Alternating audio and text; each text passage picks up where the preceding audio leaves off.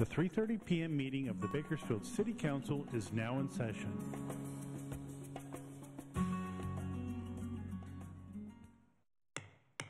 Good afternoon. It's my pleasure to call to order the 3:30 regular City Council meeting of April 20th, 2022. Madam Clerk, please call the roll. Mayor Goh, Here. Vice Mayor Weir, Here? Councilmember Arias, Here. Councilmember Smith, I am here. Councilmember Gonzales, I'm here too. Councilmember Freeman, Councilmember Gray, Here. and Councilmember Parlier. I'm here three. Thank you. In keeping with Council's resolution, the public statements portion is now divided into two s- periods. There's a period for items listed on the meeting agenda and items not on the meeting agenda. Statements for items listed on this afternoon's agenda are given a two minute time limit, 20 minutes total. Per agenda item. Statements regarding items not listed on the agenda are also given a two minute time limit, 20 minutes total. If you have written comments that are longer than your verbal statement, please give them to the clerk, who will give copies to the council. If you're here to make a public statement, please fill out a public speaker card and give it to the city clerk. We ask that you mark whether you're here to speak on an item listed on the afternoon's agenda or on a matter not listed on the agenda. Speakers who do not identify the agenda item on which which they wish to speak will be presumed to be speakers for the non-agenda portion. Those speakers will be called during the non-agenda portion of the meeting. Madam Clerk, do we have any public speakers regarding items listed on this afternoon's agenda? No speaker cards have been received. Thank you. Madam Clerk, do we have any public speakers regarding items not on the agenda? Mayor Goh, no speaker cards have been received for items not on the agenda. Thank you. Next item, please. Reports item 3A, a public safety update and presentation uh, will be provided by Bakersfield Police Chief Greg Terry and by Kern County District Attorney Cynthia Zimmer. Thank you. Mr. Clegg. Yeah, thank you, Mayor and Council. We're picking up on our public safety update uh, from where we left off last time, and very thankful uh, to have Chief and our District Attorney here with us today. And we'll kick it off with Chief Terry, um, and we'll have uh, a few other folks um, help uh, participate on the update, and then we'll go to the next presentation after that. Welcome, Chief. Good afternoon. Thank you very much.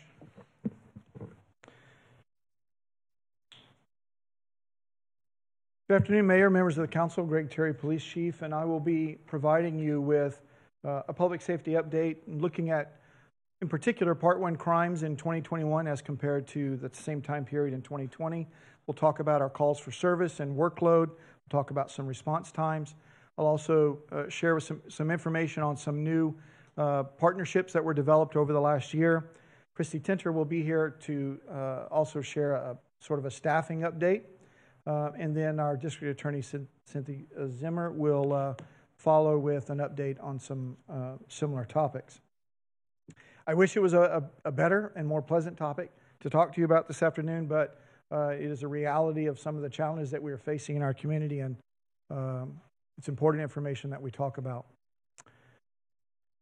The first information I want to talk about is the Part 1 crimes. Part 1 crimes are these categorized uh, offenses. They're categorized as violent and property crimes.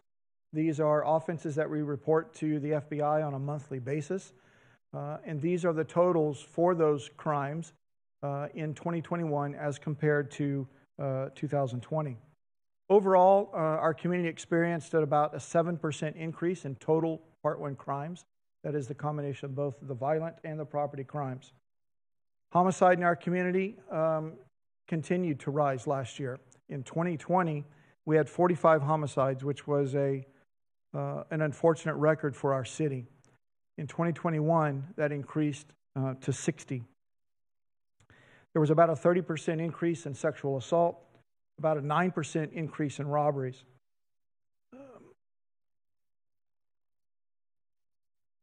For the uh, property crimes, there were increases in both uh, larceny and theft and auto theft uh, and there was a decrease in burglary for actually the third consecutive year.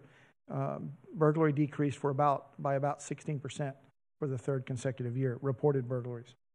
Let me talk a little bit about the homicides and, and some of the gun violence, and I'll have a little bit more information uh, in just a minute. But uh, our Special Enforcement Unit, which is uh, focused on gun and gang violence, just for some perspective, uh, has already seized over 40% of the total firearms that they, re- that they seized in all of last year.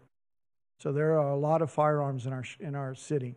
About 70% of our homicides over the last two years have been committed uh, with a firearm. Some, for some more perspective, uh, just in terms of violent crime, about 50% of the people we've arrested for homicide in the last two years uh, had pre- prior arrest for serious felonies and absent some legislative or prison reform methods would have been in custody at the time, likely would have been in custody at the time that they committed a homicide.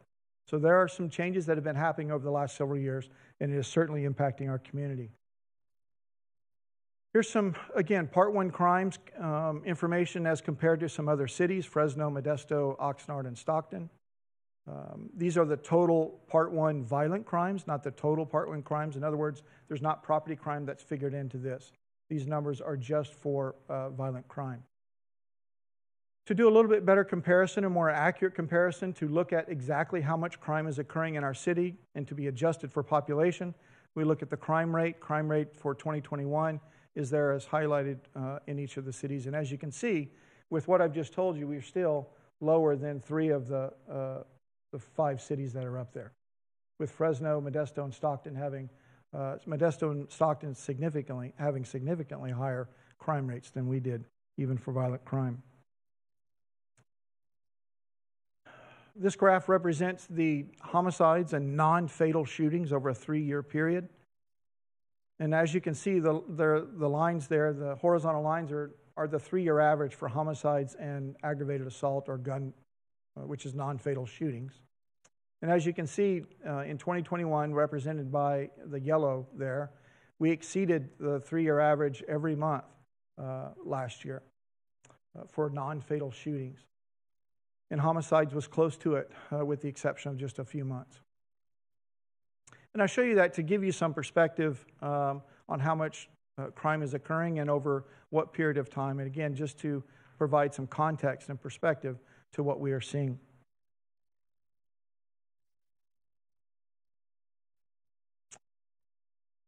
Traffic update. Uh, fatal collisions uh, increased last year as well, uh, 55 over 45 the previous year. The makeup, as you can see, there were increases in vehicle and pedestrian uh, collisions.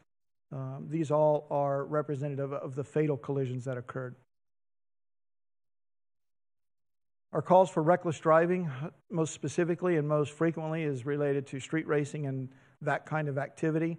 The number of uh, complaints that we received is over 6,000 uh, for the last two years. It did cre- decrease slightly last year uh, versus 2020, and we continue to focus on street racing and conduct numerous operations uh, focusing on that. Oh, just since March, we've had several operations in conjunction with the CHP. We've uh, issued over 100 citations, impounded over 30 vehicles. Uh, I think in total of last year, we we made over or issued over 200 arrest, or 200 citations just for street racing alone, or associated uh, vehicle or vehicle code violations, and uh, impounded over 100 vehicles just related to those activities.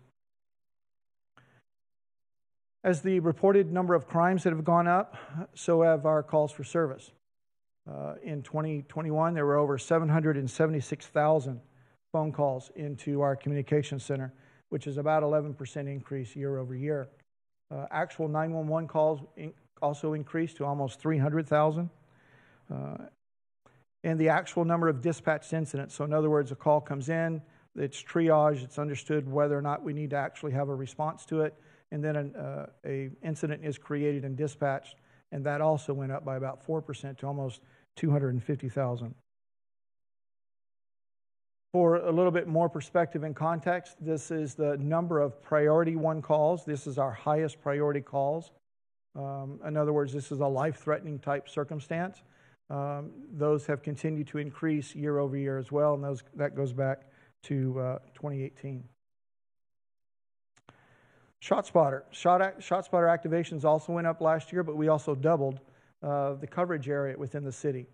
The map there in the graph indicates or represents about a six square mile uh, section of the city where ShotSpotter technology uh, has coverage. The area in red is the expanded coverage that occurred in 2021. So you can see the number of, a- of activations went up by about 75%, but again, we doubled uh, the area. And this is, this is the area through assessment, analysis, and data where we are experiencing, our community is experiencing the most uh, or the highest levels of gun violence. And yet we know that the vast majority of, of gunshots uh, are not reported, they go unreported. And so uh, one of the goals of ShotSpotter is certainly to make us aware of these incidents so that we can get there quickly, that we can uh, seize evidence, make arrest, and ultimately reduce uh, injuries in our city. But it's also to send a message to um, our community members who live in this area that we are concerned and we understand the impact that this type of activity is having on their, uh, on their daily life. Uh, we want them to know that this is important to us. Uh, and so we are encouraging, we, we go out after shot spotter activations, go out and make contact in the, in the area to let the residents know that we're aware of these incidents. We use door hangers, we use a variety of things to recontact the, uh, the residents and let them know that we're aware of these things occurring. But this, again, I wanted to provide you some context to let you know just how much uh, this is occurring and where it's occurring. Our average response time to a sh- ShotSpotter activation is about four minutes.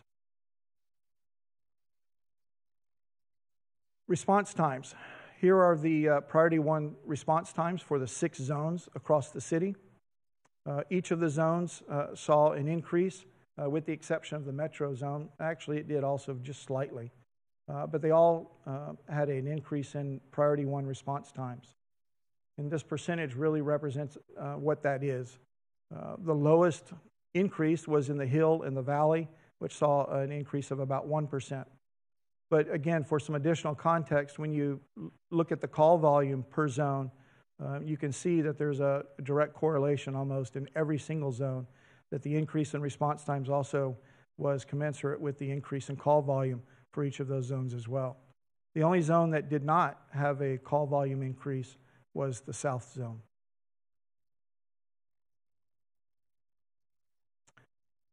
Some new partnerships that we've um, developed over the last year. I'll talk a little bit about that. The first one is the clinician uh, in the communication center.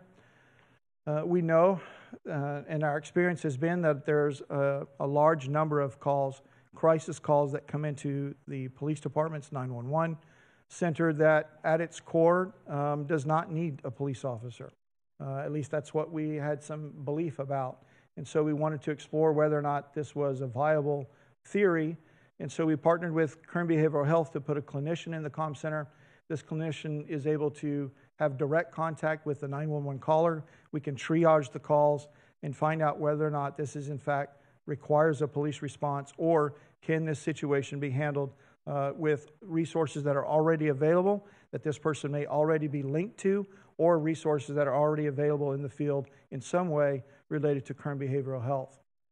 Uh, since the uh, pilot project has began in August of this year, this was one clinician working uh, on Wednesdays to Saturdays from 2 p.m. to midnight. Uh, she was able to handle just over 350 calls, and about 63% of the time, she was able to resolve the incident or d- divert it to some other resource without a police response.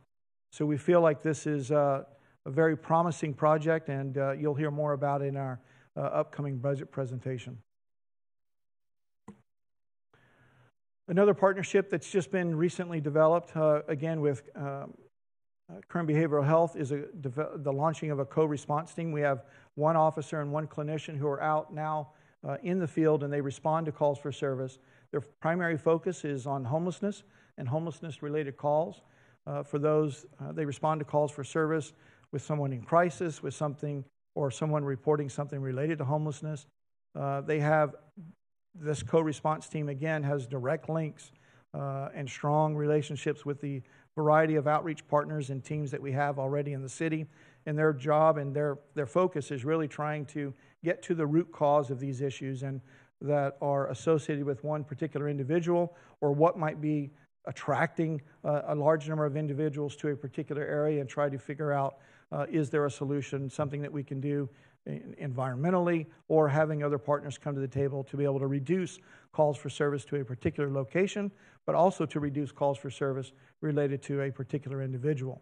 Uh, we know that there are, and our, again, our experience has been that there's still a, very often a small number of individuals who are responsible for the most most calls that we have and really chronic users of this and that's really been our focus to try to identify who these chronic users of our systems are who are the sources of these complaints and, and have and dedicate some resources that can deal again with the criminal side if there needs to be but also having a clinician, a clinician there who can deal with the mental health or somebody in crisis or whatever else might be going on with that individual and at the same time link them with some resources to try to resolve the issue without continued police responses or interference with um, a business or a community member. This is one of the last slides that I have, maybe the last one. That I just wanted to give you uh, sort of an overview of what an average week is, uh, just in terms of numbers of calls uh, that we experience. And obviously, there are much more that, that we do every day related to homelessness, quality of life issues, traffic collisions that are listed there, peace disturbances, those in a mental health crisis, civil disputes, other traffic related issues, juvenile incidents, human trafficking, and the list goes on. And I've, I've said this before that it seems like very often that, um, what seems like public safety and policing have become sort of the safety net uh, for, our, for our community in such a wide variety of issues. Um, and this is really stretches our resources um, in so many ways, and it certainly impacts our ability to respond quickly in the way that we would want to, uh, be able to address things and, and find long term solutions. Uh, and so, really, our, our work over the last two years in particular has really been to try to identify what these issues are that are causing our uh, absorbent of a large number of resources, stretching us across the organization, across the city, really, and how can we find other partners, other solutions uh, and collaborative opportunities for people to come to the table with us to begin addressing some of the root causes that end up in policing responses and really find creative ways and try to be effective in the resources that we have. Ultimately, we know that what's most important to our community is that when they call us that we come and then we come quickly and that we're, we're skilled, have the competency and the resources available to deal with the issue that they have at that moment, whatever that issue may be. And we're not able to do that to the satisfaction of, of, of, of us and certainly of, of our community on a consistent basis. I am so proud of the men and women of the police department who go out every single day and are stretched in ways that I could not articulate here and do a variety of things every single day to protect this community, to address these issues that we're having. Um, but at, at the end of the day, we know that our community is hurting and suffering. Our businesses are suffering in a variety of ways and we're really trying to find uh, new solutions and partnerships that can help us deal with many of these issues that are facing our community. Uh, we certainly stand ready to do that, um, and uh, we appreciate your support. We feel it. Uh, we know that you're providing us resources and are interested in helping us, and it's something that uh, our men and women feel, uh, and I appreciate it very much. She is here. So if we, I can either answer some questions related to um, what I've just presented, or we can go on with the staffing and then have uh, Ms. Zimmer come and present, and we can do that at the end, whatever you'd like. Chief, approximately how many people handle those 15,000 calls in a week, the average? Well, that's the number of calls that would come into the com center, and so it, um, it comes into the com center, and then it's triaged and distributed uh, across the so, like I said, over 775,000 calls came in to the com center uh, last year. About 250,000 of those, I think, were uh, 911 calls. So that, I was just that was curious, like on a per person basis, it's a very large volume. So thank it you is. to everyone in the com, in the com center. Uh, Councilmember Parlier? I'm just going to wait until the briefing's over. Okay. Thank you. Okay. And Councilmember Smith, do you yeah, I just, a quick point. Appreciate everything you do in, in the department. It's just, when, when we look at these, and, and it's just one year or two years, I've asked before, you know, can we see what the 10 year, the 20 year mm-hmm. trend is, you know, or would be helpful, I think. I'll have, I'll have a 10-year look in my uh, budget presentation. Great, thank you. Thank you. I don't see any other requests right now. Welcome. Good afternoon, Mayor, members of the City Council. Christy Tenter, Human Resources Director. And as the Chief uh, introduced, I will be providing a summary in support of the department on our strategies, goals, and accomplishments in the pursuit of increasing our sworn complement uh, these past three years. So we'll dive in and specifically put some framework around what the goal was. And our goal was in support of Council Goal 1, which is quality public safety services, more narrowly defined under PSVS, with hiring 100 officers over a three year period. For perspective and some date sensitivity, we started this July of 2019, and at that time we had 389 sworn positions in the Bakersfield Police Department. Now, I have to pause for a moment and say this was amazing in itself. Each of you have talked about the benefits of PSVS and what that's brought to the city, but from an HR perspective, the excitement of knowing we can do this and we have the resources to do this. Many of my colleagues throughout the state were looking at defunding over the last three years or department cutbacks. And so having this opportunity to uh, understand the needs of the community and really put that emphasis on it was overwhelming at times. Uh, but to be honest, we had to take a pause when the chief and I had discussion of well, how are we going to do this? This was very different than our traditional model. We really had to consider the infrastructure that was in place and how we can do this better. And so I, I liken it to a, a journey, whoops, where you're going most days just fine, traffic's flowing, you get detours, stops, redirections.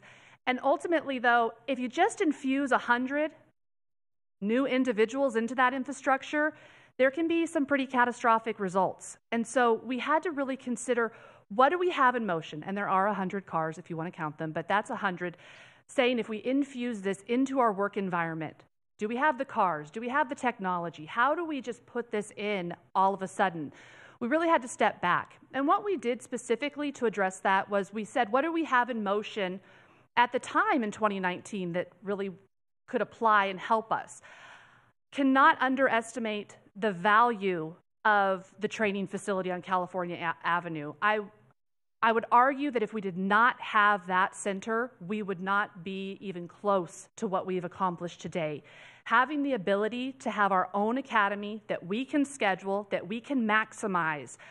For perspective, in the past, prior to that, we had to tag on to other facilities. And sometimes that meant the leftover spots Sometimes it meant less spots than we had hoped for, maybe only adding six officers when we wanted 20 officers.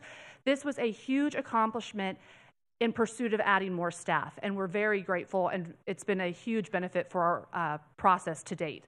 So we had that already in motion. That was going to open. That was great. We could start getting those academies. We had to be certified by POST for how many people we can have an academy. So it's not just open an academy. There's a lot behind the scenes that has to take place. Now, we did other things that we had in the works. We tried to reduce steps to make it easier for lateral incumbents. Please come here. What can we do? Can we reduce your time out of office or travel time? Things like that. We have expanded our recruitment uh, resources and outreach, a lot of social media. Sometimes we have open houses here in the city council chambers where we ask people, Do you want to know more about the job? What can we do? Pre workouts, things of that. Candidate text messaging, technology being a driver in recruitment is critical at this time in our modern day world. And having that ability to send out reminders, sometimes we find that some people forget that their exam's tomorrow, and okay, we'll overlook that and send you a reminder. But those things are critical to communicate and be engaged with our workforce. Um, social media has been huge. Having our PIO on both the PD and the um, city side big advancements there. But again, a lot of things were in motion, but we knew that to continue this at the scale we've been doing, we needed a more concentrated uh, communication plan. And so we've developed an applicant engagement team, members of the command staff in the police department that work with training, and members of HR key staff uh, meet by first we started weekly, bi-weekly to just talk about who are we looking for? Where can we advertise? What do we have available? What is our image? Where do we need to go? How do we drive diversity? So many elements into that single number of, but we just want to hire 100. but there's more to it than just that number. So we've been meeting regularly. So let's talk about what we've done from a perspective of um, year to date. But I would be remiss if I didn't share just a reminder for everyone viewing that what is the process to hire? I talk a lot about the academy, and those are what we know as the trainees, police trainees. That is our biggest bang for our buck, so to speak. That is the most uh, widespread opportunity we have to infuse headcount into our organization. Uh, we'll talk about the number of laterals. Lateral recruitments traditionally have not yielded much in terms of volume. So we don't pull a lot of, of candidates in, typically one or two a year. We've done better. We're going to talk about that in a moment. But when we look at an academy setting, first and foremost, it's a regulated process uh, more so than typical hiring. So we have the Peace Officer Standards and Training Commission POST, which is a state agency that says you must meet these guidelines and we will audit you. And so if you don't meet these screening criteria, you could be in jeopardy of failing an audit. And what would that mean? Potentially how we run an academy or if we can run an academy. So it's very important that we follow that protocol. Now, we can have, though, efficiencies into that protocol to make it more streamlined and an easier process on applicants. But overall, regardless of the effort we put in, it typically takes about six months from the time we have a job open to the time that an academy starts. And it's because of our life cycle. So we have a written exam, and that's the Pellet B. And then they, those that passed advance to an agility, and then those go to an oral exam. And then there's the regulated background checks that can be very time intensive, polygraph examinations, medical, psychological exam. And again, when you start with a group of a thousand and start to narrow it down, it takes a lot of time. And so again, we've had to really look at how does our infrastructure support that. So everything that we've been doing is to really get to this point of how do we get people into the system. So what have we been doing? So first and foremost, recruitment for sworn personnel, uh, I can liken to a new release of a Nike tennis shoe. For those of you in the market, there is high demand, low supply. Okay, I have teenagers, I know this. At any time I go on governmentjobs.com, there are over 300 sworn positions posted for law enforcement in California. We're competing with that. If we're not present, if we're not timely, if we're not ready to move, we lose out. So there is a marketing campaign anymore that goes along with this. And so it's very important that we have the elements that we've been looking at. So initiatives. One, Cornerstone Communications has a uh, publicity that is called Behind the Badge. It tells the story of us. We want you to have a career here. We want you to know more about us than just the badge. So uh, Cornerstone has been really instrumental. They have over 123,000 followers on Facebook. They have Twitter accounts, LinkedIn accounts. They're telling our story. We've seen trainees that were DJs. We've seen them that were goat farmers. We've seen them that came from you know, other states and countries to move here. This is good stuff. If you haven't read the articles, we encourage you. This one is about one of our lieutenants um, who talks about why she is committed to BPD. This is the advertising that we want to show our community and our applicants in the future. So this is something that we've partnered over the last number of years to, to do. Revised police training and police officer job specifications we needed to look at community policing. We just don't want someone that's enforce, enforce, enforce. We need people that are engaging and in our community. So we updated that. That's the first view. That's the first thing that people see on advertising. Uh, hiring incentives. We've talked about that. The council has partnered in approving and letting us move forward in hiring incentives. Uh, again, those are far and few between, up to $50,000 in some parts of the nation. We are uh, providing those now, and we believe they're a, a, good benefit to the employees that we've uh, afforded them to. We're sponsoring trainees. My staff will laugh because they often say um, that I've been labeled as saying I want to be the concierge of police trainee hiring. I think I've shared that with you as well. But we do. We want them to have an easy process, come back, stay, all those good things. So we are sponsoring them. Flashlights, sweatpants, shoes, things that they need to be participants in the academy that's an added expense to their day to day living, we're affording them. Employee referral program. You can see, and I've provided in the past, in the bottom corner are QR codes. All patrol is asked to carry the QR codes. If you find someone that you think is a BPD fit, share our job information. So we have an employee referral bonus because we believe that our, app, our employees are our best recruiters. So, something there. Staffing of retired annuitants and human resources. Again, what's that infrastructure? Do we have enough people to do backgrounds for almost 500 people in a year? Do we have enough staff that can dedicate innovation and sharing of this information with applicants and mentor and help? We added staff to do that. Uh, retention and longevity bonuses. This overall goal is not just about hiring 100, but we need to retain. If we have a revolving door of those leaving, it, it, we don't reach our goal. So we have to focus on retention, and through that retention longevity bonus that, that the council approved, we, we did see a, a reduction in retirements last year that we're very grateful that really helped us stabilize our numbers. Uh, continuous and live recruitment exam schedule, we're not taking our job postings down. They're staying up. They need to be up all the time. People need to know that our community wants, supports the Blue and wants them here and that our jobs are available. And then expanded outreach and social media campaigns, banners all over town, um, looking at different diversity groups for posting, having ads in PORAC continuously, really looking at what is the audience and candidates that we're trying to attract. And I'd like to share that our current academy has 13 female applicants. This is the highest and the most that we've ever seen, and we're really um, we're really being those uh, behind the scenes cheerleaders to definitely say we, we want that's who our workforce is. We want to have a workforce that represents our community. So we're excited to see that some of this is translating to positive uh, trends. Advertising as i mentioned it, it's like a multi, you know it's like a super bowl commercial. We've got to be present and there. Uh, we've done banners all over town. We've done banners on the Get Bus all over town talking about it. Again, QR codes. We took an existing vehicle that's been allocated to PD in the past and we've made it a recruitment vehicle. Um, that still will be utilized by staff, but again, it can go to job fairs. It can go to, um, it's just driving around town. You can snap that QR code, learn more about our job. So anything we can get um, more attention for our advertisement and drive them back to our website.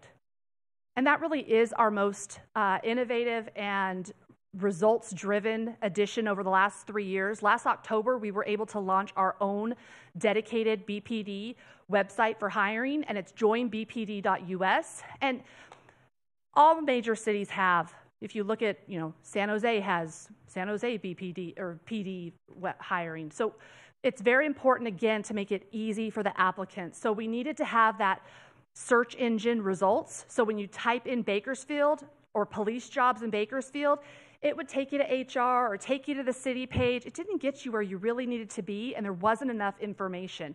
Now, if you go here, you can connect with mentors, you can see benefits, you can see bonuses. It's a one stop shop all um, for uh, hiring in uh, our sworn rank. So we're really excited. We'll keep doing that. We'll get statistics on who's visiting, who's applied, how can we improve. So, again, a lot of results that we're seeing out of that website. So, where does that come? So, what we've been doing, what does that actually translate to? So, since that 2019 start, uh, we've conducted five uh, BPD police trainee academies. Our most recent just started on March 28th, that had 35 um, incumbents start on day one. In terms of our lateral, again, we're not closing that. We have it open continuously, but our police academy graduate lateral, we have hired 11 in the last three years. Again, that's the most we've ever seen. We're typically one year, if that, but 11 in the last three years, um, good trends. We have one pending a start that's in our process. We have two more in background, continuing to receive those applications. So if we look all in all, we've hired 218. A little tired, a little excited. It's a mixed emotions, but uh, we've hired 218 that have actually been onboarded come to day one of employment and made it through that full cycle of the applicant process. What does that mean for our goal, though? So we've hired 218. What does that mean? Well, we started with an authorized headcount in 2019 of 438. We had 389 filled at, t- at that time. We currently have an authorized headcount of 507. We have 469 employed. We have three pending in offers. So by the close of this three year period, June 30th, we will have a net hire of 83 individuals added to the complement. Now, a lot of excitement, a lot of looking back at we've done a lot, we've made a lot of progress. But we know a goal is meeting the goal. We have not met the goal. We have hired, we have had a net increase of 83. Our goal was to meet was to have 100. We understand that, and so we will continue in pursuit of that goal. As we reflect back on differences, changes, why didn't we meet? What happened with 218 and moved it back to where we are today? We share a few takeaways from environmental considerations that we've given. Not at all to be a list of excuses, but things that either didn't exist in 2019 or that we have had direct feedback from staff or applicants that made a difference. And so, first of all, the great resignation. And so, what that is for those of you who have followed, the very broad definition is in 2021, 33 million people were reported as leaving the job market. Now, regardless of the reason or the whys, there's many out there statistically that people are, are guessing at why people left, but overall, the public sector has taken a harder hit in that. Many, uh, according to the Bureau of Labor Statistics, government uh, entities across the nation are reporting the most vacancies today as in, compared to the last 20 years.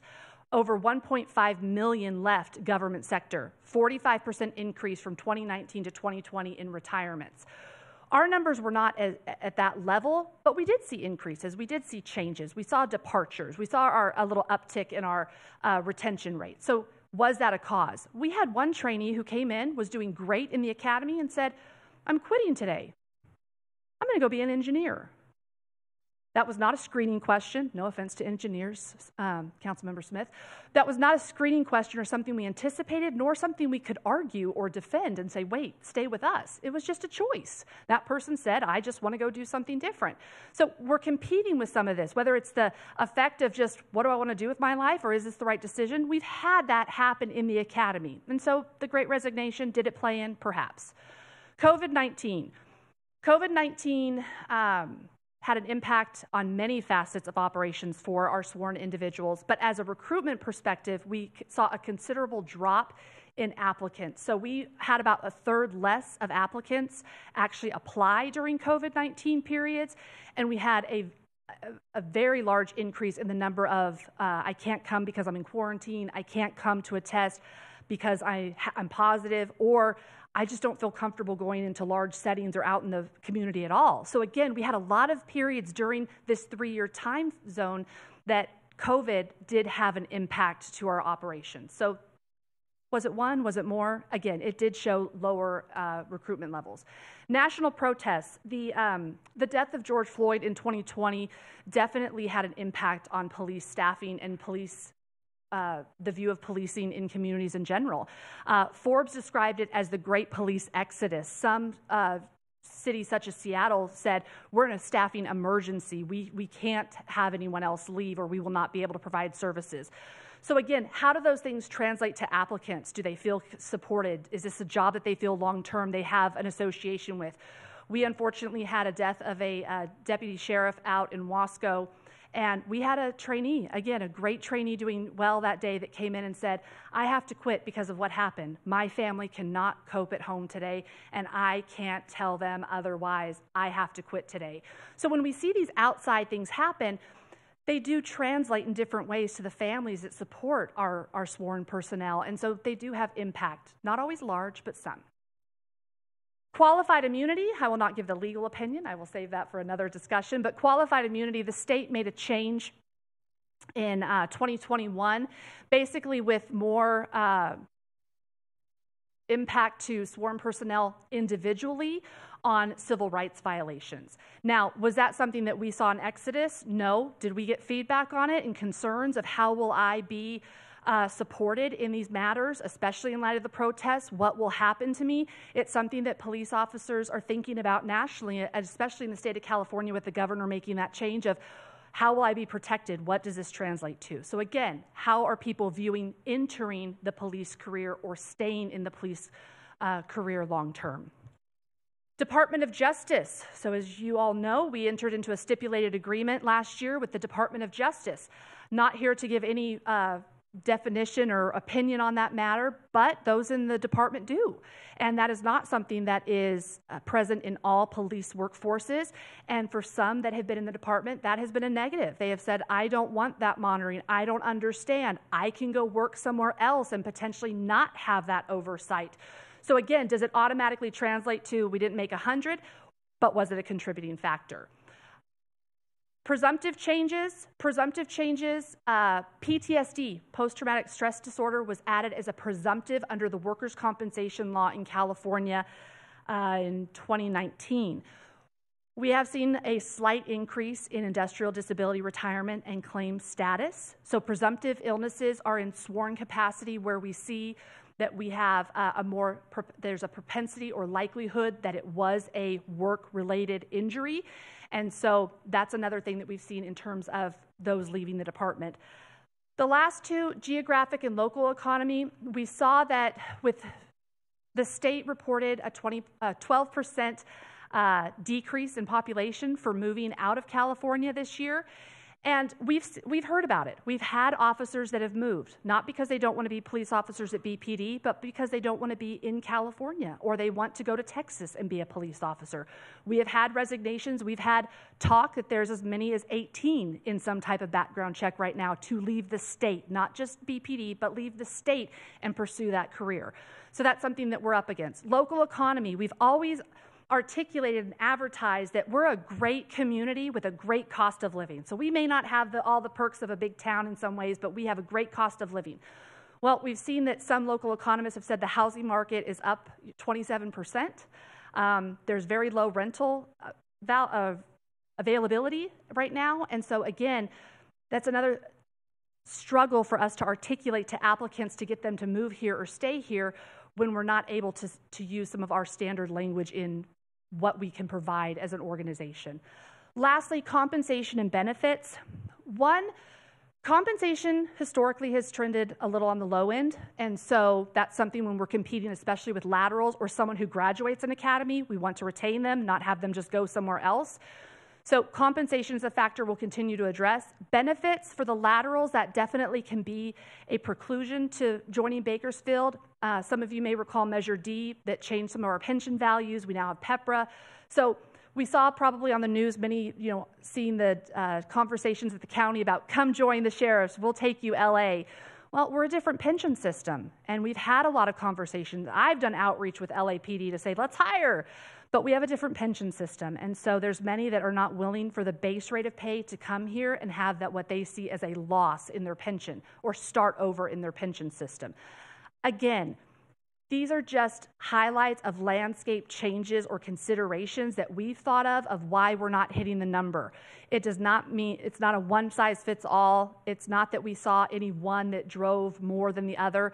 But again, we had five academies. If we just lost someone for one or two of those reasons each, that comes close to that you know, shortfall from 100 that we were looking at. So again, just sharing that information back. So we'll continue. We are going to continue on early engagement efforts. We want to connect with candidates to want them to be vested in our community and our Bakersfield Police Department. We'll continue to drive physical fitness, uh, readiness to help with that first few weeks in the academy where we can see the higher dropout rate continue to focus on can we assist with relocation, sponsoring the trainees, more job fairs now that we can be out and about and people are active again having job fairs. Um, we have the city class and comp study come up coming up that may help with that process. And the last is eSOPH.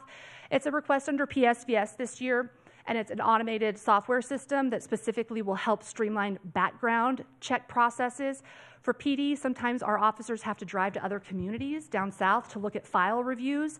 That can be hours and hours away from our community, but required uh, to do. This will have a software sharing capability where those documents are secure. We're hoping this can greatly reduce one, staff time, and two, the applicant time to wait for a response on their application status.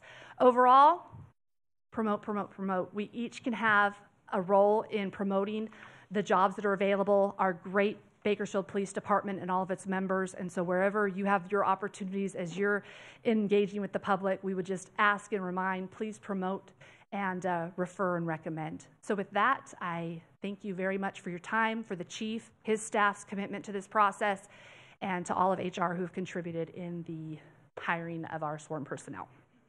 Thank you, thank you Ms. Tenter.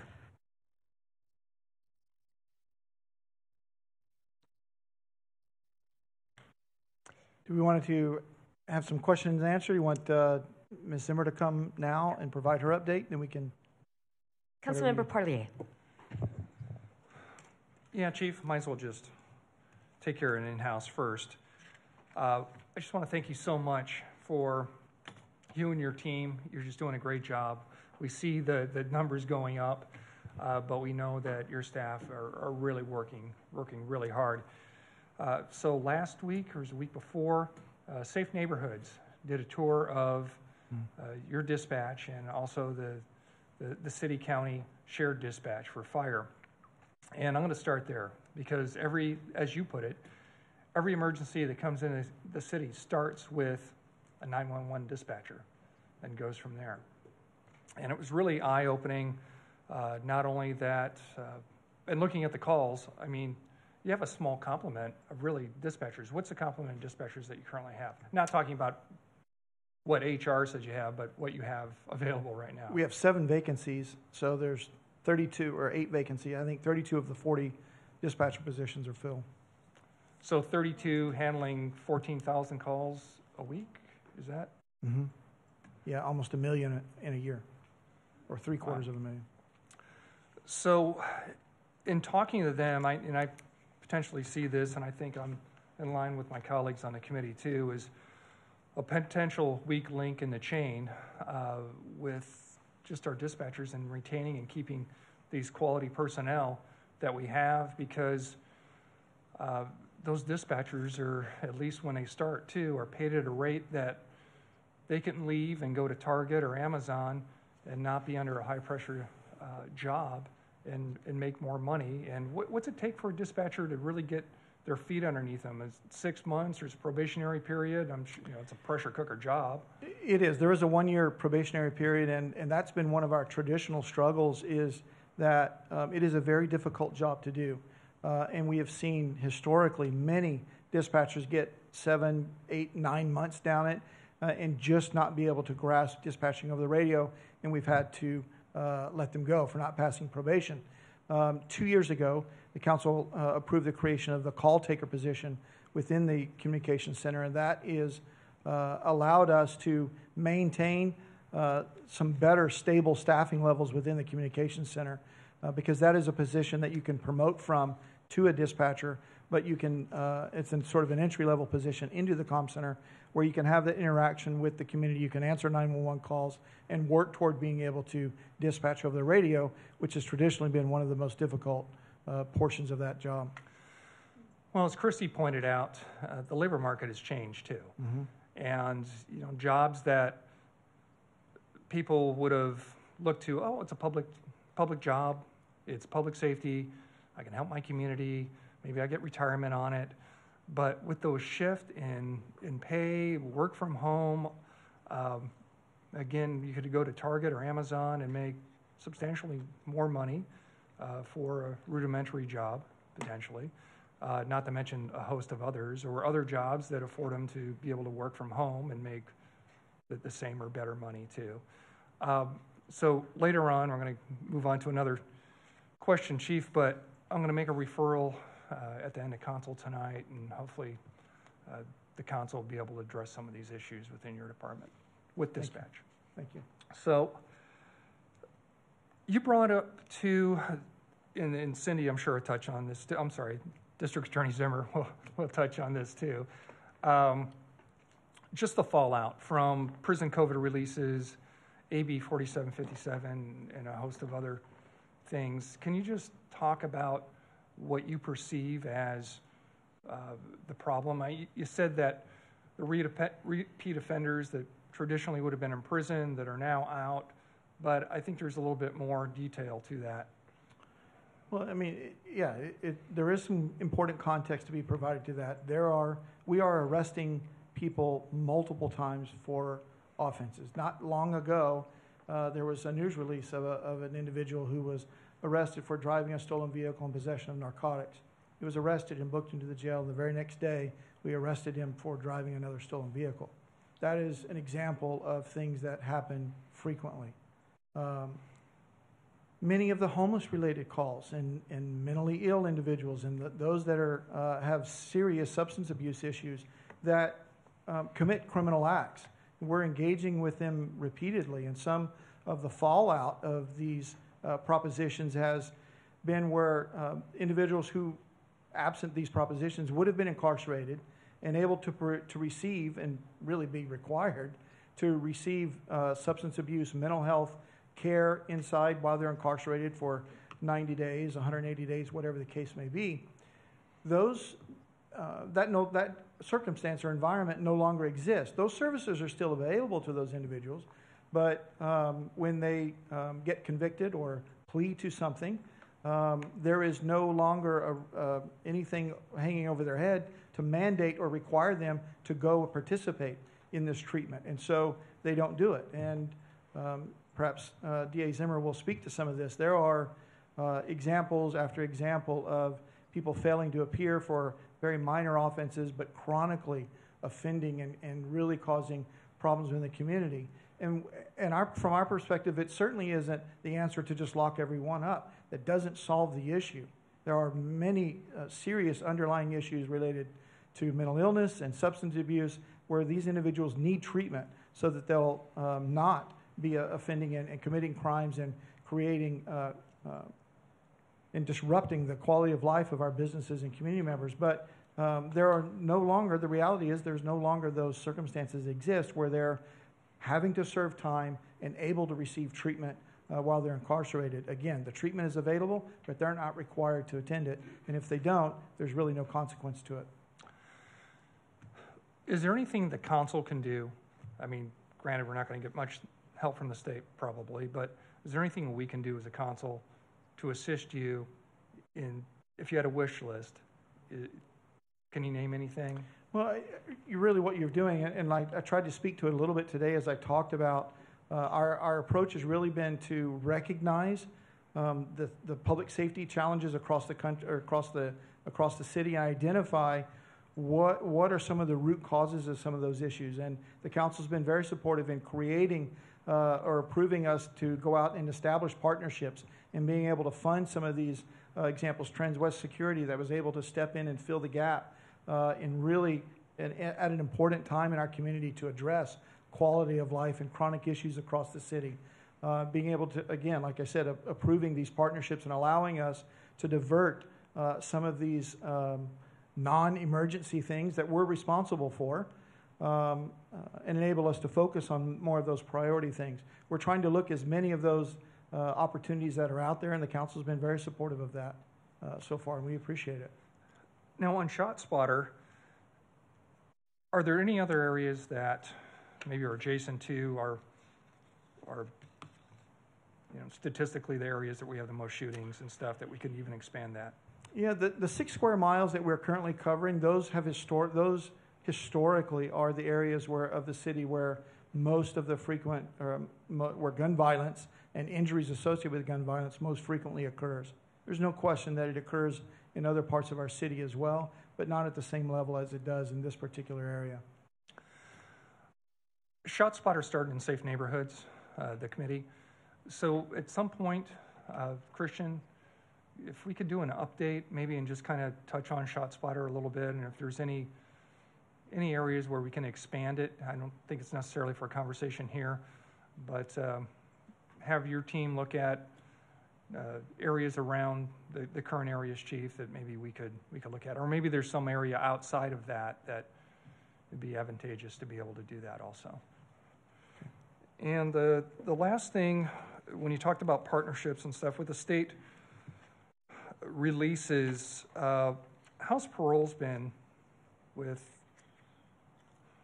with parole violations and stuff like that? Is a revolving door now, or is mm-hmm. it? Yeah, our partnership with parole is good. Uh, the reality is, and their ability to partner with us to um, keep people in custody who are um, committing uh, serious crimes or serious violations, um, that is just not the issue, not the case at all. Uh, people who do not go into custody for parole violations for any length of time, and sometimes even when they're called into the parole office, they leave uh, when the officers do. So you're saying crime and punishment is lacking now? Seriously. Mm-hmm. Thanks, Chief. Christy?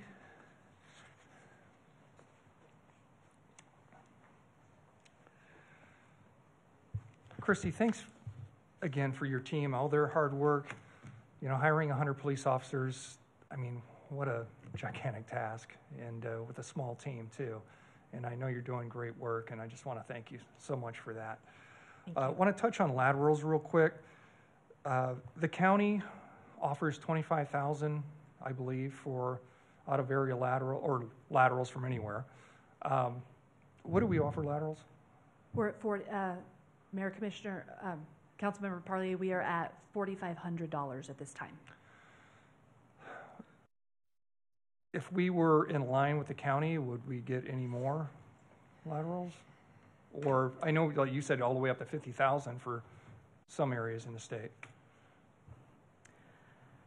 I, I do not believe that that would be an automatic transition to an increased applicant pool for laterals. And I would go back to the information I shared earlier on some of the perceived or, or real disparities in benefit programs.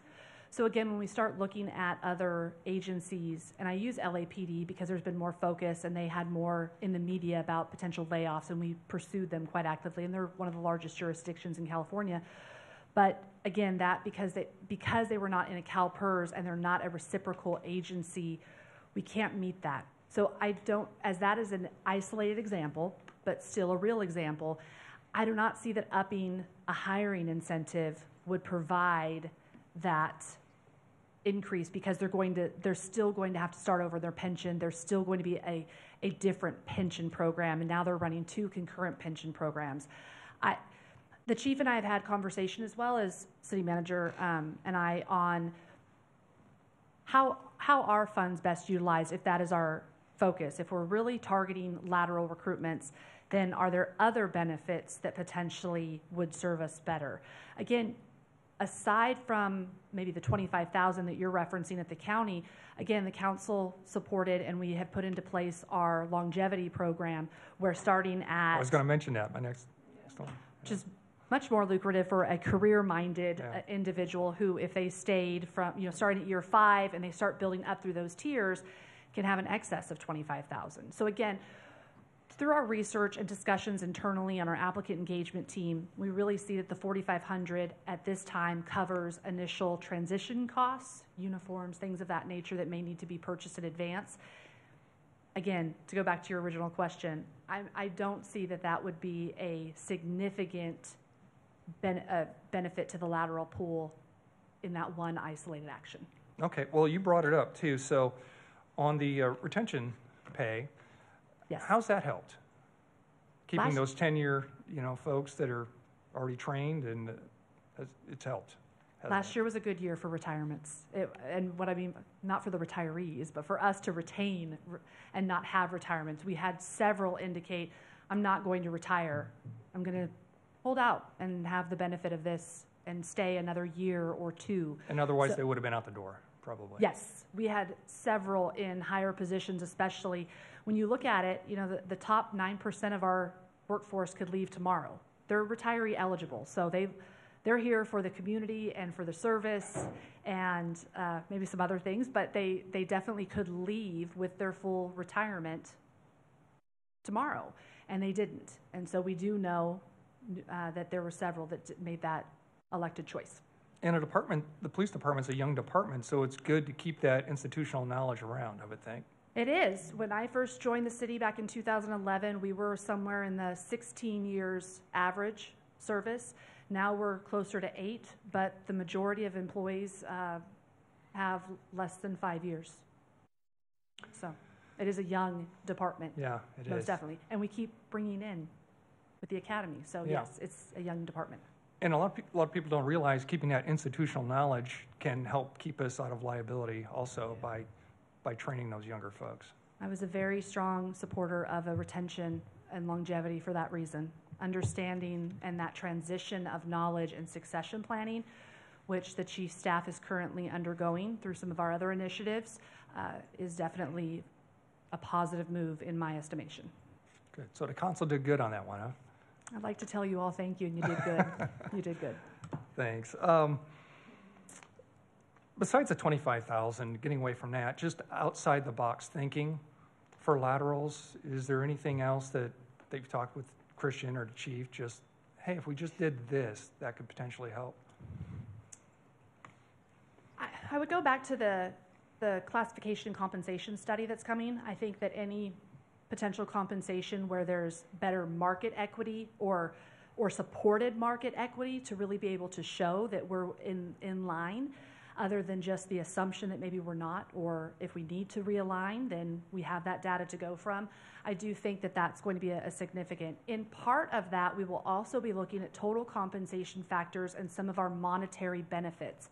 And so I, I t- time is of the essence, and I know we need to hire now, but I also would like I would like to defer and see some of that data come back. So when we look at some of our vacation programs and things of that nature. That's part of a lateral discussion. We've even had that in the miscellaneous ranks where someone has 300 hours of sick leave or vacation leave in their current job because they've been there a number of years. They're going to come here and start at zero. That's, that's difficult, especially when trying to balance family and, and work life um, in strenuous occupations.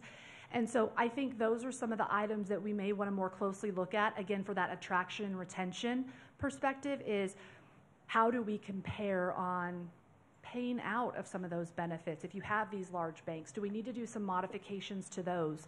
Those are some items that i think we've discussed internally but again i feel should be well supported with data from the study once we look at the comping class outcome.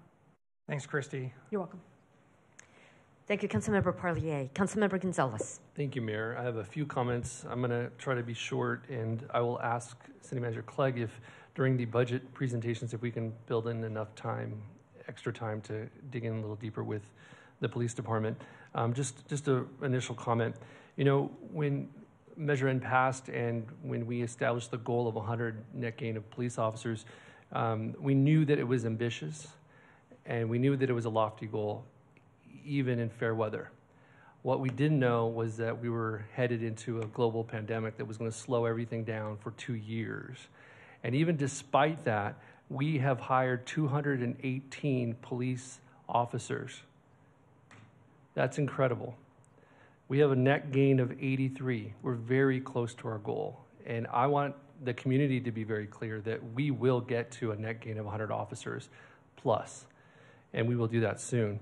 And in fact, if you consider, and for those doubters out there uh, uh, uh regarding Measure N, if you consider if Measure N failed, we would, had a, we would have had a loss of 135 officers over the last three years. Think about that. All of the various different uh, priority calls that are increasing, the, the violence that's increasing, with a smaller complement of over 100 officers. That is a scary, scary scenario. We had uh, 389 officers in 2019. Since then, we've lost 135 to retirements, people moving, uh, various different reasons.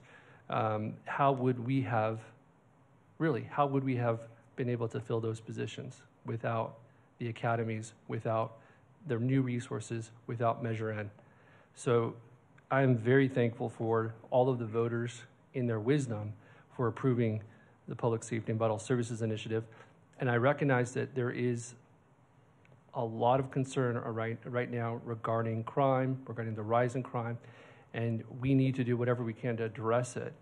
Uh, but let's not discount or uh, throw away the value in uh, the investment we're making through PSVS.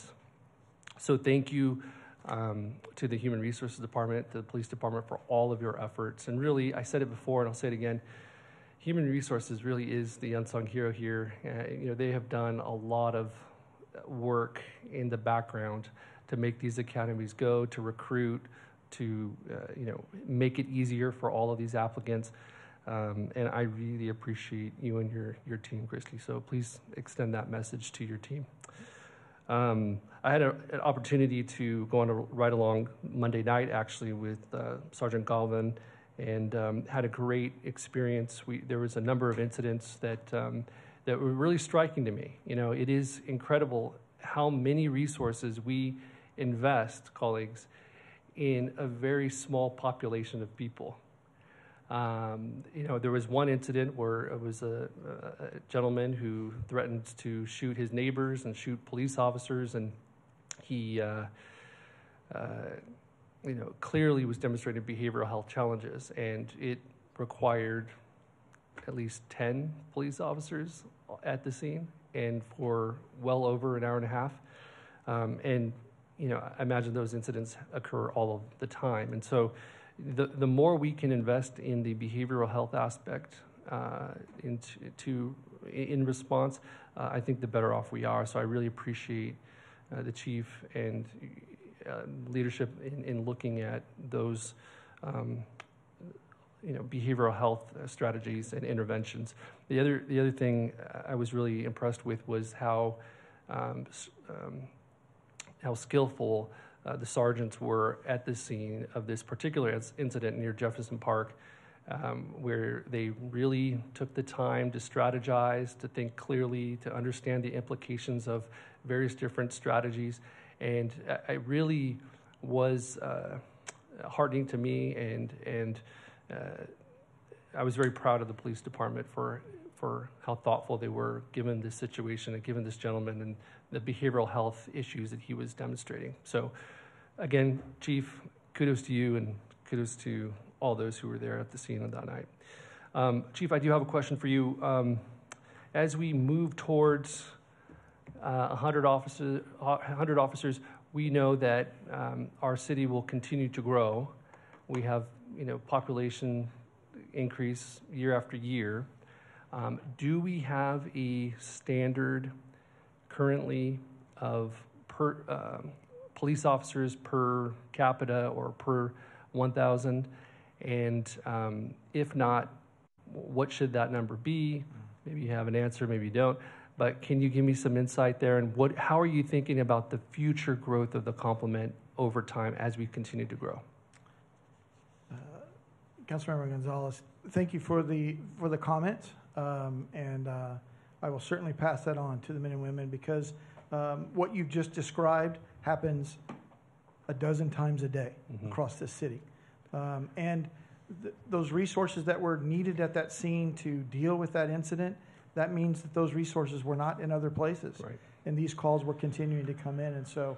Uh, but it is important, and we take very serious our responsibilities to protect and care for for this community and uh, and ensure that we're equipped to handle all those circumstances. So I appreciate you taking the time to come out and ride along. Um, and uh, I know that you didn't mention it, but I will front you out that I know that you visited the academy today, mm-hmm. uh, and uh, we appreciate that uh, very much as well.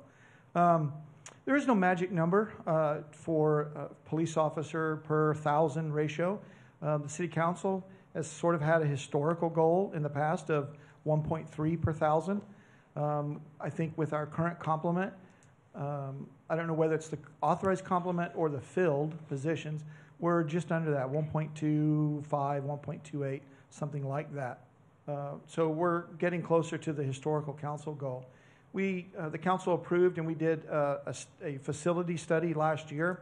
Uh, with that was a staffing study to look at um, the workload uh, of, the, of the police department, our deployment strategies, how the workload is distributed across the department, both on the sworn side and the professional staff, uh, across every division of the department to come up with a number, uh, a projected number for five years, 10 years, out to 20 years. So we do have some, uh, some good studies now. Uh, I'm hopeful that uh, very soon I'll be sharing more of a, an analysis of that as we as we continue to digest that. But looking at just in the next five years, we're, we're with 100, if we can make it to 100, we're within probably a dozen or so positions that they projected that we would need um, within at, at the five year mark. Now, we're, they started with, I think, 2019 data, so uh, it'll be just two years from now when we will have uh, need that a dozen or so uh, increase in uh, sworn staff. So we're close to what their assessment was based on the current, based on what the workload was two years ago. I appreciate that. I think there's a need for us to have a conversation at the council level with you, Chief, about some of our expectations moving forward in terms of uh, community policing and the presence that we would like to see. For example, in downtown, where we um, you know, in the past had a bike patrol mm-hmm. that was able to provide some presence, right? Um, some more community-oriented practices. You know, that's above and beyond, you know, the current level of uh, of, of staffing. Uh, and, and so I, I would like us to explore what would it take for us to get to kind of this, this um, enhanced level of, uh, of staffing so that we can, again, engage the community in a more productive way, perhaps uh, do some preventative work. Um, so I'd love to get your thoughts on that. Okay, look forward to it. Thank you. Thank you, Councilmember Gonzales. Councilmember Gray. Just real, excuse me, real quickly with time, and we want to be able to hear our DA. But I wanted to just say thank you again to all of the brave men and women that serve us every single day. Um, I, it's been a real eye opener being on the council to really understand what goes on out there every day. I did have the privilege to do ride along about 10 years ago, and that was a real eye opener. So I, I would like to do that again. But I just want to encourage my colleagues. Um, we've made a lot of process, a lot of progress, but there's so much more progress to be made because our crime rate is up. It hasn't gone down. So when we go into this next budget season, which we're starting that process now, um, looking at Measure N to be, really be careful of how we're spending those hard-earned dollars of our taxpayers because they voted for this measure primarily because of public safety. That was the number one thing that they wanted was public safety and wanted to increase our department. And then also going in talking about our general fund, the same thing. I am so grateful that we live, live in a city that we are not trying to defund our department, but we're trying to fund. So I just want to encourage everyone to keep our mind on this report today that we saw. Let's not lose track of what we've heard here today because there's so much work left to do and we've got to have the dollars in place to do them. So thank you, Chief. I, I appreciate you. Thank you, Councilmember Gray. Thank you, Chief. Thank you. DA Zimmer?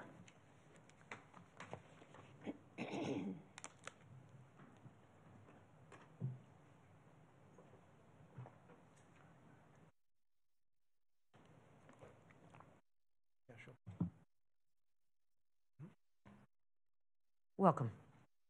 Thank you, Mayor Goh, members of the council. I was asked to come talk about how the laws in California have impacted public safety. And I can tell you that the change in the laws in the last 10 years have greatly impacted public safety in California and in Kern County. I'm also here, I, I don't work for the city of Bakersfield, I work for the county of Kern. Um, and so uh, the police chief, Greg, uh, Police Chief Terry, um, talked a lot about the statistics for Bakersfield. And um, I'm going to talk a little bit more county-wide, but I will tell you what happens in Bakersfield. And when there are homicides in Bakersfield, it has a direct impact on Delano, Lamont, Arvin, and vice versa. So we really are not a huge um, uh, state, I mean, county. I know that we have uh, East Kern, but here in West Kern, what happens in Bakersfield has a great impact. Um, crime is changes with politics. And the pendulum of justice, I like to call it, changes. It goes left and it goes right, depending on who's in Sacramento, who's in the legislature, and who the governor is. And it has a swing and it has swung greatly, and it is, we've seen a lot of increase, specifically in the last 10 years. Why have we seen an increase in violence, drugs, theft, and homelessness? You have to look back at the history of crime in the last hundred years in California, and that pendulum, pendulum has swung left and right we look at the 20s and 30s, it was a tri- time of great lawlessness in California. Then we had the war and a shift to a very pro law and order thinking, and it was reflected in Sacramento. Then in the 1960s, and it was about the lowest rate, our crime rate in the early 1960s, but in the 1960s and 70s, crime really increased. And we had probably our peak in crime about the time that Governor Brown left office in 1983 and Governor Deukmejian took over in 1983, and crime was at about its worst per capita in those years from about 1983 to 1990. For about 28 years, we had laws that changed. We called that Criminal Justice Reform 1, where the crime was more law and order oriented. We looked at the victim. We looked at what uh, we thought would address recidivism. And then in the last 10 years, that movement has been flipped. It is going what we call more criminal, or um, how do we reduce the sentence of the guilty? I have been a direct eyewitness to what has happened in the last 38 years because I began my uh, work at the district attorney's office at the height in 1984 of uh, crime per capita. And uh, it's been difficult to watch. What happened? What were the major? There were a lot of things that happened in that first period of time that um, made California safer and caused the crime rate to go down. The three crimes that had the greatest impact, uh, the three um, laws that had the greatest impact on crime were first, 1988 was the STEP Act. That made gang enhancements. That was Penal Code Section 18622. It enhanced sentences for gang crimes it created a special circumstance in uh, death penalty cases for gang crimes. And um, that was due to an explosion of gang crime in Los Angeles. We did not use gang enhancements for about another 10 years in Kern County until um, the Casa Loma shooting in 1999. It was about that time that we started the gang unit at the BPD and that's when we started uh, gathering what we call predicates and beginning gang prosecution. But it made a tremendous difference for the en- enhanced sentences. But perhaps the greatest piece of legislation, it was a proposition and a piece of legislation, was the Three Strikes Law in 1994. That occurred because, uh, in part, because of the kidnap, rape, and murder of Polly Klaas that young girl from Petaluma, uh, who was killed by someone who should have never been out of prison. A recidivist, violent felony kidnapped that child and killed her. And her father, Marc Klaas, that you still see as a victim advocate, uh, was very involved in passing three strikes law, which increased punishment for recidivist offenders. And then in 1997, and there were a lot of different pieces of legislation, but these are the big three. In 1997, there was AB 4, the Sandra June Peters Act, which enhanced sentences for those who chose to use firearms when committing violent felonies. There was a 10 year sentence enhancement for someone who used a gun during a violent felony, 20 years for someone that shot a gun during the commission of a violent felony, and life for someone who shot someone and committed a murder or great bodily injury. That was Penal Code Section 12022.53b, C, and D. So, I went back 30 years to give you a perspective 30 years of statistics in homicides. Now, I have this for every county in California, but I pulled out four counties Kern, of course, but Alameda County, that's Oakland. So that's a big city. And there's a lot of crime in Oakland. Fresno is somewhat comparable to us, about 100,000 uh, more, and in the valley.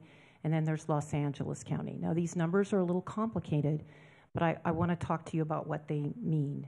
So, 1990 is about the height per capita of seeing some of these uh, violent crimes, and I didn't pull out all crimes, like the big ones murder, rape, robbery. Um, I just did homicide, so we could look at that because it would become too complicated. But the first line going across for Alameda, going up for the first 10 years there, um, and I have circled 1994 because that's when the three strikes law was passed. You can see the, the raw data for the number of homicides that were committed in Alameda County. 188 homicides. The percentage for of homicides you break down for population. So it was 14.7 homicides per 100,000. So that's how you read those two numbers as, uh, as you go across the right, the right uh, direction. The highest per capita rate that Alameda had in that decade was in 1992, which was 16.1. You look down into Fresno County, and you can see the raw numbers going across and the percentage for population. Fresno County in 1992 had 17.4 per 100,000. You look at Kern County, and you look across and you look at the percentage per 100,000. We had a lot less homicides, but we had a lot less population too. And you look at our big year was 1994, 14.8. And then you look at Los Angeles. Look at some of those numbers, the bottom line, the percentage of, uh, of homicides per population 21 per thousand. So um, it is, um, you can look at that and look at 1984 is when three strikes law passed. And you can see the crime rate starting to go down. 1997 is the year that the 1020 life passed. So, with some of these violent felonies, you can see them start to go down. Look at the end of 1999 of how some of these crime rates went down. You look at the next decade of the year 2000 through 2009 and look at some of the percentages, and I'm here to tell you that the percentage of homicides per population has never been as high as it was in this decade, in the decade before. We've never gotten close. Even now, we all know that there are a lot of homicides in Kern County. Right now, we have the dubious distinction of having the highest homicide rate for any county in California, and Bakersfield plays a big part of that. But it's never been as high as it was in the 1990s but it is beginning to increase because of the change of the law. So you can look at these, and you can look at Kern's um, averages going. Uh, we're at 12. We were at 12 last year, but you can look and see during these years of uh, what they were. I circled, for example, Alameda ranged from 7.3 to 11.4. Fresno ranged on a low side from 4.7 to 8.6. Each year is just a little bit different. Kern ranged from 5.5 to 9 but for the mostly the five, six, and sevens in Los Angeles continue to go down 11.7 in 2002 to 6.7. Now, one of the things I'd like to point out is, is in the 10 years from the time three strikes passed in 1994, there was a very exhaustive study done 10 years later in 2004, and how significant that the crime rate went down in that 10 year period of time. Alameda went down from 16.1 to 7.8 homicides per 100,000. Um, Fresno went 17.4 down to 7.9. Kern County, 14.8 to 8.6. Los Angeles went from 21.1 to 10.2 in 10 years. So, what happened in 2011? And in 2011, um, 2012, 2014, and 2016, the pendulum started swinging the other way. Uh, the most significant piece of legislation was AB 109, realignment in 2011.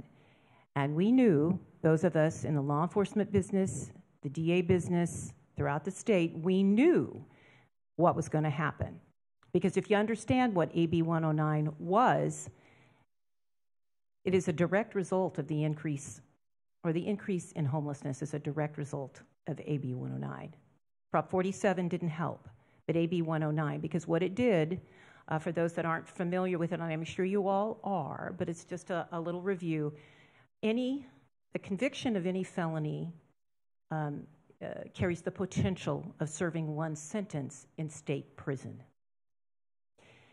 AB 109 changed that, which only allowed some felons to go to state prison, and they were the violent and the serious felonies. So the murder, rape, robbery, that those types of crimes still they went to prison. But what happened to the ones that sold heroin? The criminals that sold methamphetamine, the repeat car thieves, the embezzlement the embezzlers. thieves, drug dealers. What happened when they were convicted? They served their time in the Kern County Jail. So the people that used to be in the Kern County Jail, they couldn't go to prison under AB 109. They had to do their time in the county jail. So who used to be in the county jail before AB 109? They were people who were waiting for trial, but after they were convicted, some would do their time if they were a first-time car thief and they were on going to get felony probation. they'd do their time in the county jail, but for the most part, they went to prison.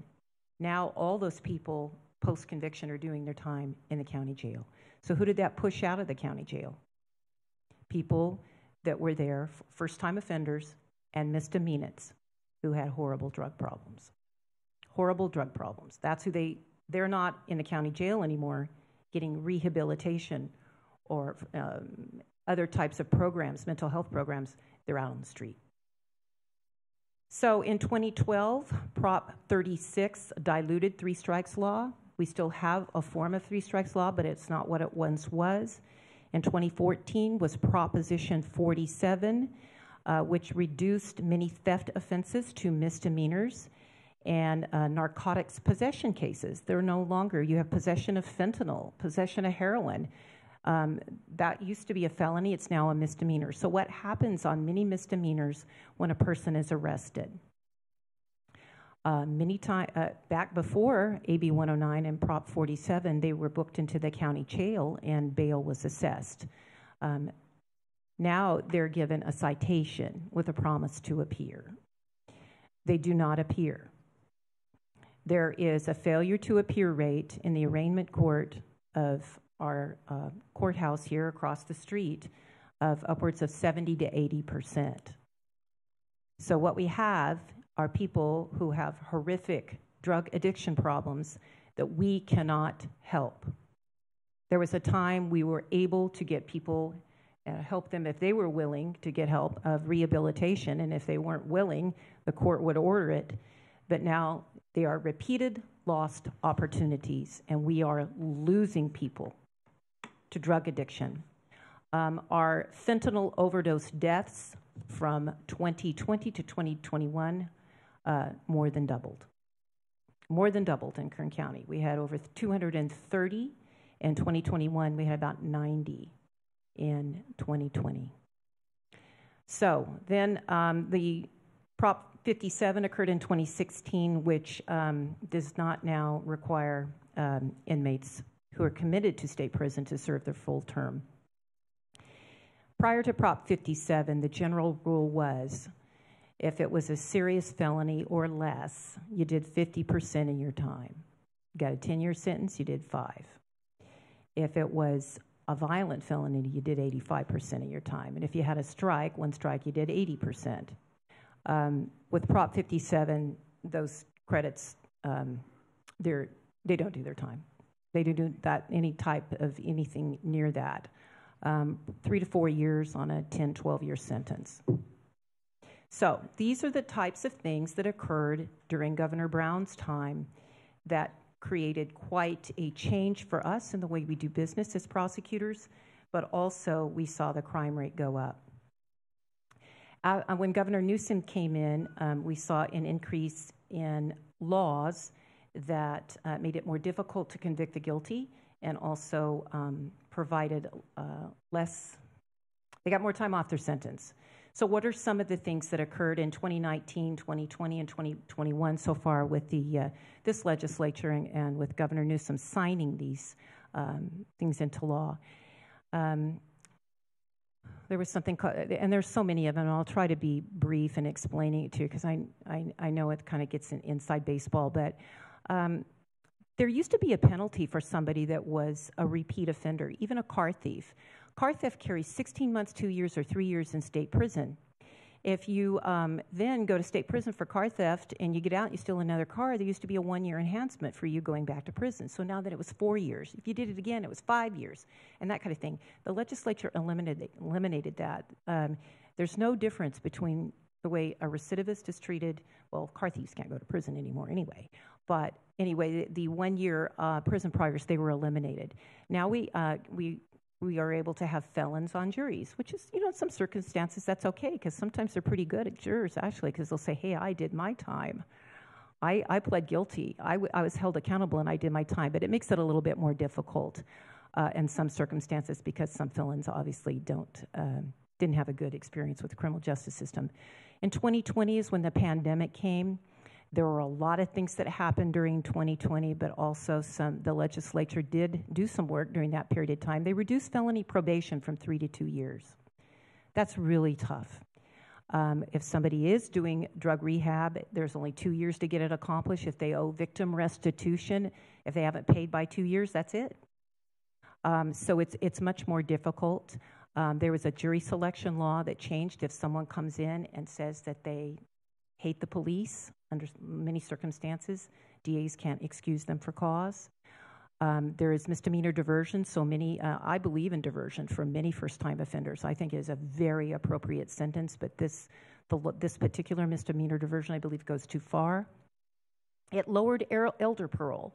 So if you're, if you're convicted of a violent felony and you go to prison, if you're young, you get youthful parole. That's over and above what you get off your sentence. But if you're also going to reach the age of now not 60, but 50, you're now eligible for parole. So there's youthful parole, Prop 57, elder parole.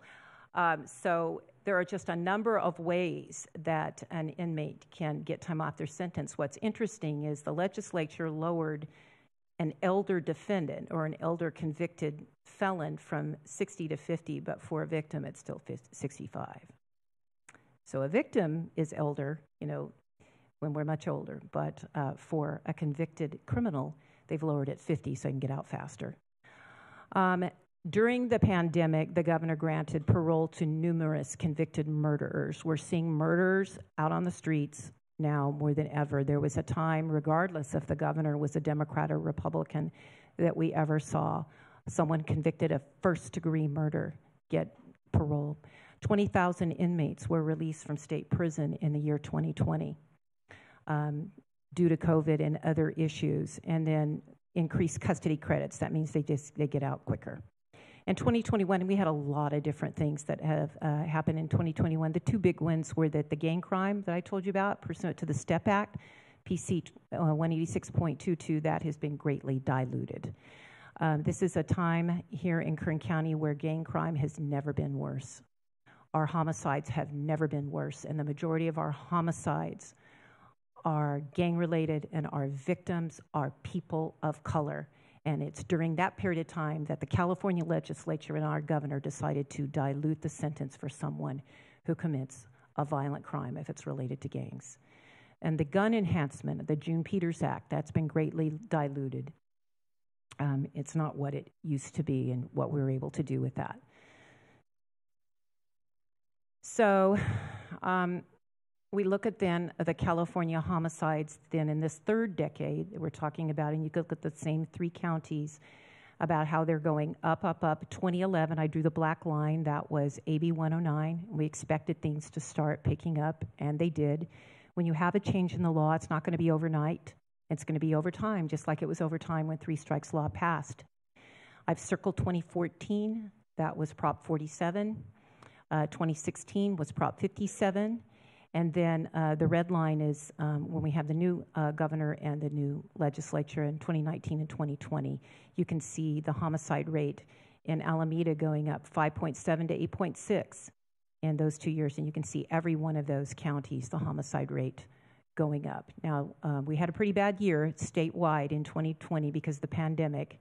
In 2021, Kern County remained the same, but most metropolitan areas were much, much worse. You can see LA in one year went up nearly 200 homicides.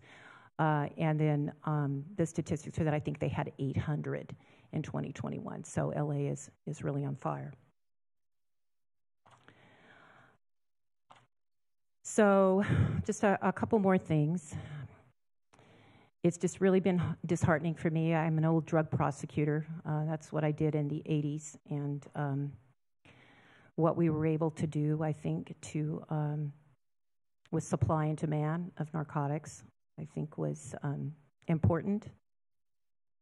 And um, we can now not send, unless they have a strike conviction, we cannot send people who sell or possess for sale uh, illegal drugs to prison. They go to the county jail and the average stay is 30 days.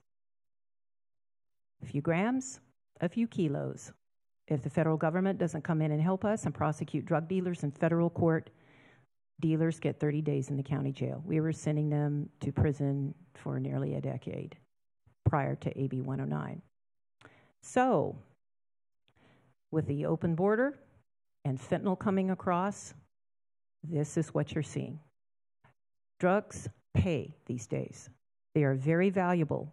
We, used, we saw a long time ago that drugs were worth, worth a lot of money, and then they, uh, they weren't as much, and now um, th- there's a lot going on in the streets. It's, it's one of the reasons we've seen so many guns because drug dealing is so profitable. Uh, drug dealers and criminals have a lot of money. We've had, we saw EDD fraud and a great increase in drug dealing. So there are a lot of guns, a lot of violence on the streets. So we've uh, lost our tool to do something to the drug dealers to get that off the streets. And then we've also lost the ability to help those who really need help, and those are the people that are addicted. And the opioid crisis has made it that much worse. You know, fentanyl is an opioid, so um, it's highly addictive and highly uh, a, a, big killer. So um, that uh, makes us very, very sad. And we see people that are so sad out on the streets. You know, I see one particular person that um, I see most days coming to work, and I just look out my window and um, my heart breaks for her. Because I can tell she is um, in the throes of deep drug addiction. And there was a time she would have been in jail, and some of the best rehabilitation you can get was in Lerdo, in the county jail. And so we don't have that anymore. So the laws have changed. Um, I think it's going to get worse. I'm just going to be straight out. I don't, you know, I'm, I'm not going to come in here and say that it's it's going to get better. I don't see it getting better. Um, do we have the rates that we had in the 90s, the 80s? No, but we're each year we're going up. And so the laws have changed. The laws are making it more difficult for our law enforcement to do their jobs and it's making it harder for us to hold the guilty accountable. Thank you. Thank you, D.A. Zimmer, for your advocacy for justice and fighting for our community. Councilmember Parlier. Thank you, Mayor. District Attorney Zimmer, there are pro victim uh, DAs and there are pro criminal DAs. And I'm so thankful that you're our district attorney because you are so pro victim. You care so much about the people of Kern County and those that are victims of just heinous crimes. Uh, I've been on the walk uh, with you more than once, uh, recognizing the victims of Kern County. Uh, there's so many sad stories that go along with that. And to put those people in the same context of really predators that are out there preying on in, in a lot of cases, and sometimes in most cases, of people really in underserved populations that need the help the most. And I just want to thank you so much for that. Is there anything we can do as a city, as a council, uh, to help support your efforts uh, in the county, maybe even too? I know the county's a different entity, but uh, the jail's a big problem. You know, even if we have can send somebody over there, there's still an issue there. Can you address that a little bit, please? Um, Councilman Parlier, um, through Mayor Goh, um, thank you for that question. Uh, uh, as far as what you do to support us at the district attorney's office, it starts with the Bakersfield Police Department, and it was so. Um, uh, it was great to hear the presentation by the police chief and um, the lady from the city, I'm sorry, Christy. Christy, yeah. yeah. Um, about what you're doing uh, to try to hire more police officers. Um, the Bakersfield Police Department is an amazing organization. Uh, I, I know almost every officer, maybe not young ones as much, but uh, what they do, they're, they're a tremendous agency and they have a great reputation. So for the council supporting this amazing agency is uh, probably one of the most important things that you can do that you're not trying to demean them, defund them, humiliate them. Instead, you are supporting them and bringing them up. And so that, that helps us. That helps us with the quality of their investigations. and it helps us when we um, try to hold people accountable. As far as the interaction with the County of Kern, I think that we have a great working relationship. The council, members of the board, I know that we've done a lot of things before. We used to have a, a city county um, group back in the, uh, oh, about 10 years ago with gangs. Um, we're always open to do something like that, but it is difficult with realignment regarding taking who used to be in prison and uh, we, we've been doing their sentences in prison. Instead, they're doing them in the county jail. There's just there's 1,800 beds at Lerdo right now. There's 1,800 beds.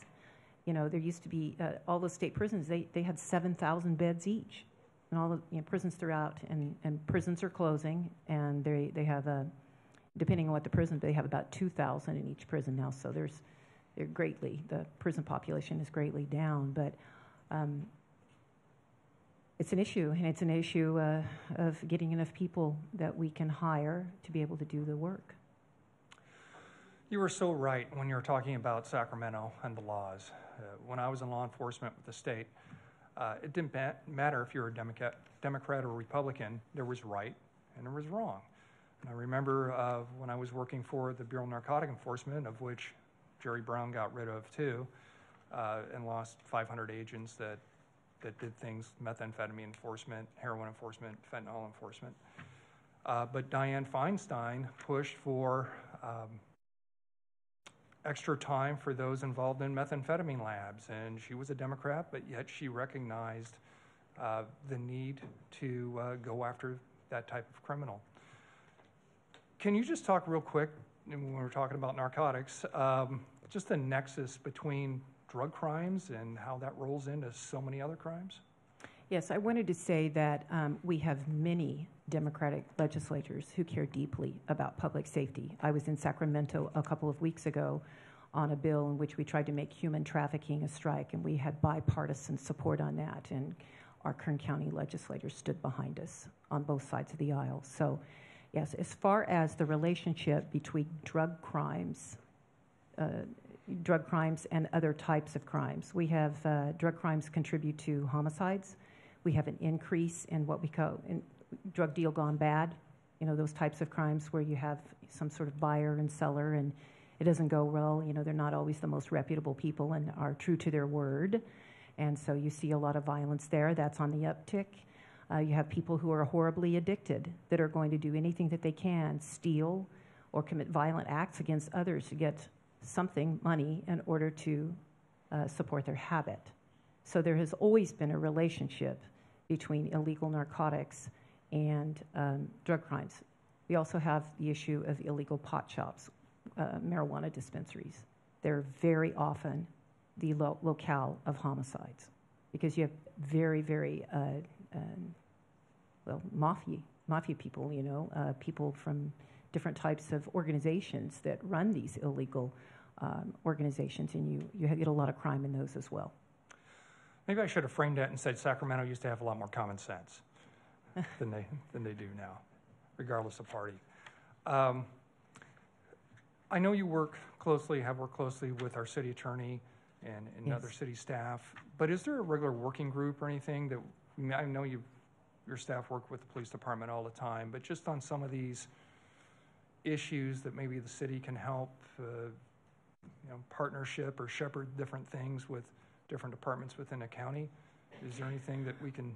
Well, we've we've had a lot of different working groups. Luckily, we we do work very well with the police department and and the, the county sheriff. You know, um, in a lot of counties, uh, the elected DA and the police chiefs and the sheriff they don't get along, and we all know each other very well. And I think we don't always agree on everything but uh, we are fortunate in that regard that we do get along well. As far as working groups, I know that we are trying to do something regarding um, some of the, the homeless issues and what we can do as far as that go. And we've been working about that uh, about that and I, with that, and um, we've had a good relationship regarding off and on over time of um, of funding in order to um, um, quality of life crimes that really affect so many people in Bakersfield. So, is there a, a, a working group, though, like currently regarding the city and the county sitting down? I mean, that, that might be a, a question that should be uh, between the police department and the sheriff. Um, but we work very closely, depending on what your unit you're in. In my office, uh, the gang unit, we're over here at, at the police department at meetings regularly. Well, I know we provided some monies for some quality of life crimes before. Uh, did that help or not help, or? It certainly does help. Um, we we uh, we have a um, uh, in the misdemeanor unit. We are watching those that are um, the worst offenders of the quality of life crimes, and when they come, we get an alert. We uh, have a computer program in which we look at those that have the most warrants. They're usually for quality of life crimes, and we try to uh, get the jail to keep that person for a couple of days so they can at least be in custody when they go to arraignment and have a lawyer and uh, be a, a, little bit uh, less uh, under the influence to be able to make some good life decisions for themselves.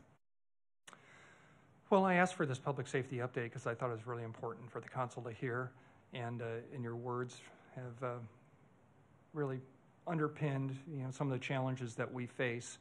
And I just thank you again so much for your time and uh, all the hard work for your department. Thank you. Thank you, Councilman. Thank you, DA Zimmer. I don't see any other requests to speak. Vice Mayor. Motion to receive and file. You have a motion. Please cast your votes.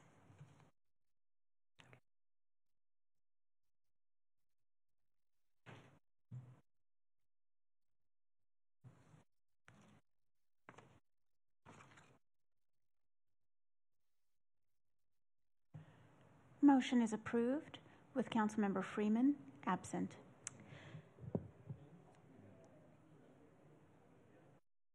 Thank you. And with that, uh, we stand adjourned at 519.